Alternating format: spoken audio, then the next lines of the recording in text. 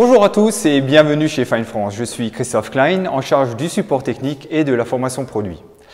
À travers différents tutos, nous allons vous présenter nos machines, nos accessoires, leurs applications et bien entendu des nouveautés. Mais avant de commencer, savez-vous que cela fait déjà plus de 150 ans que nous développons des solutions pour les professionnels du métal? En effet, c'est Fine qui est l'inventeur du premier outil électroportatif en 1895 avec la première perceuse. Depuis, bien sûr, la plateforme produit filaire et sans fil n'a cessé de se développer. Nous allons commencer par nous intéresser aux assemblages mécano-soudés, c'est-à-dire assemblés par soudage. Comme tout procédé, il nécessite une approche rigoureuse et précise, depuis la préparation des composants jusqu'à l'installation sur site. Alors vous êtes prêts? Suivez-moi, c'est par là que ça se passe.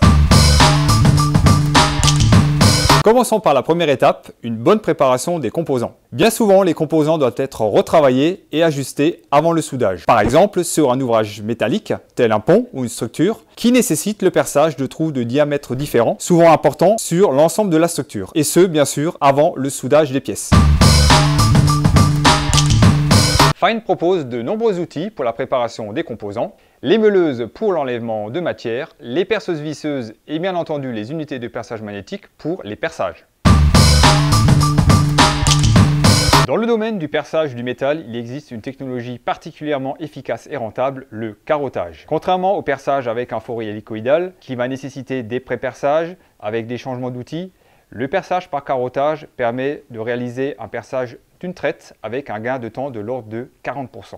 Il permet également une utilisation polyvalente, le perçage d'IPN, de trous chevauchants, de matériaux multicouches et également le perçage de trous de niveau décalé. Dans cette technologie-là, Fine propose 5 catégories de machines, les manuels, les économiques, les compacts, les universels et les automatiques, pour répondre à des besoins de perçage jusqu'au diamètre 110 mm.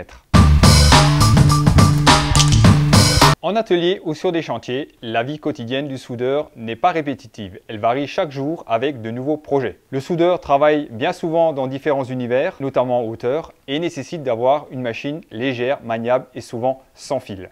Parmi tous ces modèles de la gamme Fine, la KBU 35 répond parfaitement à ses besoins. Elle fait partie de la catégorie universelle, permet de percer par carottage, de percer également au forêt hélicoïdal, de tarauder grâce à la rotation droite-gauche et également de faire du chanfreinage. Alors découvrons ensemble les atouts de ce modèle. La KBU 35 est équipée d'une batterie 18 volts high power qui vient se mettre ici. Elle est également entraînée par un moteur brushless qui permet effectivement d'avoir un rendement exceptionnel de l'ordre de 85% et ne nécessite pas de remplacement de balai. On retrouve également sur le dessus un clavier de commande qui permet de gérer la machine de manière facile, pratique, sans risque de confusion et sécurisant. Le variateur de vitesse dispose de 6 paliers ce qui va nous permettre d'adapter la vitesse en fonction des différentes applications et des accessoires. On va également retrouver à ce niveau un système de changement d'outils rapide avec une bague coulissante, disponible en version Quick-In et en version Weldon. L'aimant permanent qui va nous permettre de faire une utilisation en hauteur mais également à la verticale. On va retrouver une forme en V qui va nous permettre de pouvoir utiliser la machine sur des surfaces planes mais également sur des tubes de diamètre 80 à 250 le levier de mise en route de l'aimant permanent qui dispose de trois positions. Une première position de pré-maintien, puis une position qui va nous permettre de verrouiller la machine sur le support à percer. Le capteur gyroscopique intervient lors d'un changement brutal de position de la machine.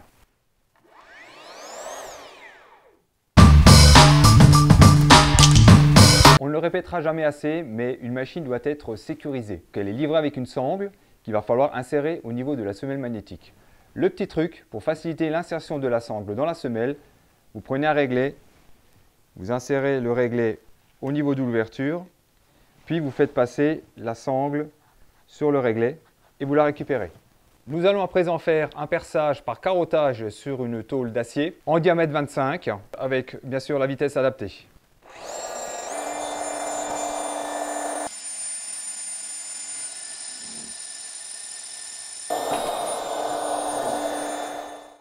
Nous allons à présent réaliser un perçage sur un tube en acier diamètre 110 mm.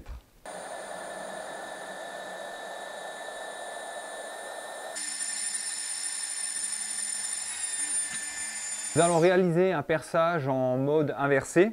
On va arrimer la machine au niveau de la poutrelle et utiliser la position d'activation à 30% de l'aimant qui va nous permettre encore une fois de repositionner la machine par rapport à la zone à percer.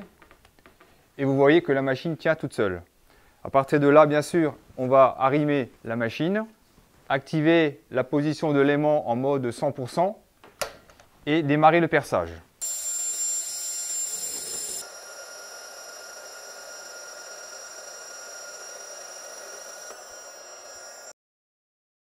Merci d'avoir regardé cette vidéo Fine, on espère qu'elle vous a plu. Alors n'hésitez pas à aimer la vidéo, à la partager et à vous abonner à la chaîne Fine.